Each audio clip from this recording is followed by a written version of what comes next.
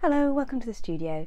Today I am working on some older monoprints on tissue paper and these are pieces that I actually started probably before lockdown um, and I've changed the way I work really and, and um, the, the, colours and the tones that I put on my pieces. So I wanted to kind of bring these up to a level that I like.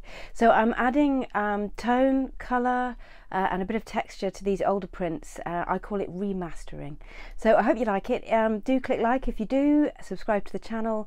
Lots more at ruthander.co.uk, including artwork to buy and also self-paced video courses about how to handprint. So I've been rooting around in uh, my old drawers and I found these monoprints. Um, now these were probably done before lockdown actually. Um, and they're what I call pure monoprints. So these are on tissue paper and they are literally, you know, rolling colour out, putting the paper on, pressing onto the back and peeling it away again. And these have got loads of layers on already. Um, but I think I can do better. And um, I've definitely changed the way I work since I made these originally. So what I'd like to do is what I call remastering them. And I've picked these ones out. And I've got more as well, but um, these are the ones I like the most that I think I can really do something with. And then the majority of them are seascapes. This one's a landscape. Uh, mostly they just need a bit more dark in them, a bit more tone. I've kind of not taken any risks with them originally. They just need a little something. So I am going to see what I can add to these to make them better. So just rolling out some um, sort of very light duck egg blue, sort of aqua green here, and doing my usual thing of just rolling it straight on. I'm using my really nice roller here, which doesn't leave too many roller marks, lovely even colour. And I'm using the same colour here to put ink onto a cardboard, this is stencil card, uh, a cardboard cutout, and I just place that onto where I want the colour. Um, and this is one way of getting very defined form um, when you're monoprinting. And I'm just taping this down. This is on dry ink, so it shouldn't make any difference taping it down. And then I just flip it over and burnish the back of the paper. Uh, this takes quite a lot of burnishing now because this has many layers of ink on already. Um, so uh, that makes it a little bit harder to get the wet ink onto the paper. Um, but I just peel off the cardboard cutout and the tape and there we go. So I'm using um, a very soft uh, lavender grey here um, which I've pre-mixed and this is going to go on this piece here. This already has lots of lovely soft colour on so it's really quite complex um, and I'm just gently, softly, as softly as I can, rolling this onto the large cloud area and I'm trying not to leave any roller marks. I want this lovely and soft.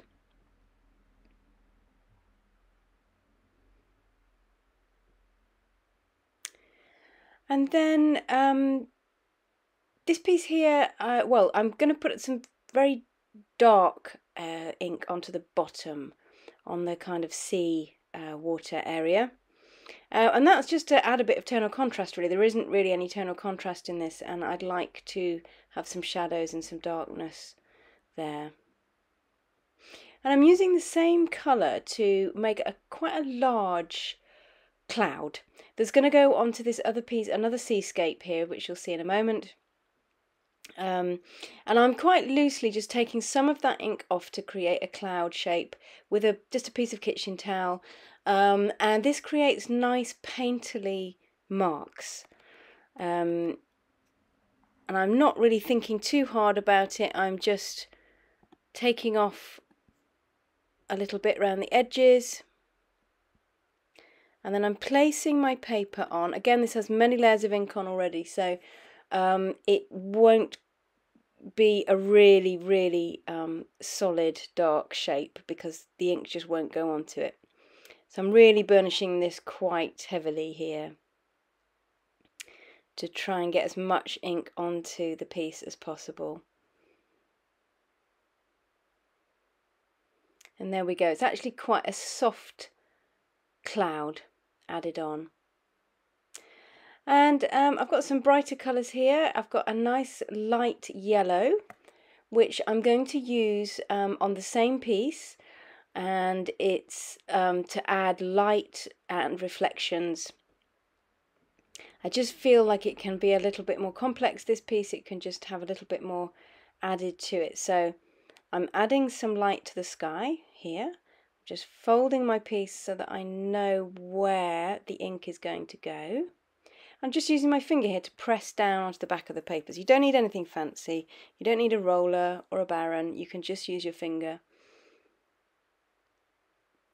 Um, and I'm using that same colour. I'm just going to get a good, nice, fairly even roller full of ink here. Um, and I'm going to roll that directly onto the piece um, and I'm going to sort of go underneath where that light in the sky is so that it looks like a reflection hopefully. And there we go. And I'm not going to put too much on there. I'm just letting the roller do the work and make its own marks.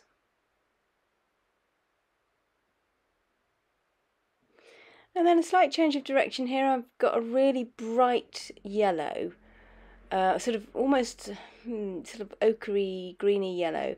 And I want to add this to the lovely big cloud on the first piece I was working on. And again just using my finger here to press onto the back of the paper. I want nice soft marks. I don't want anything too harsh. But I want that effect really where uh, um you know the sun is catching the top of a cloud and there's a kind of stormy sky behind it. And I'm just adding a bit more definition by drawing onto the back of the, the piece here. And I'm just pressing very lightly just to get a little bit of definition on the top of the cloud there.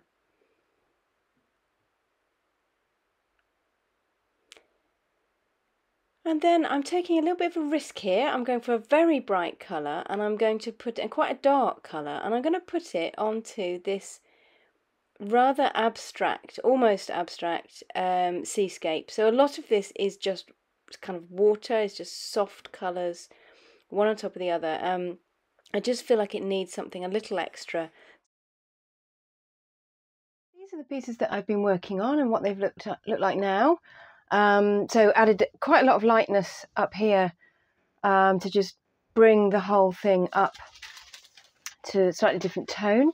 Um, really took quite a big risk here with this one. Adding, I've added a little bit more orange there, and I've actually added the sun as well and reflection. So I might work a bit more on that one. Um, this one I'm really pleased with. So we've got the darker cloud that I added, plus this soft yellow light and reflection as well. So I'm enjoying that. And then this one here uh, with the yellow light and also this darkness down here. So we've got that contrast in tones.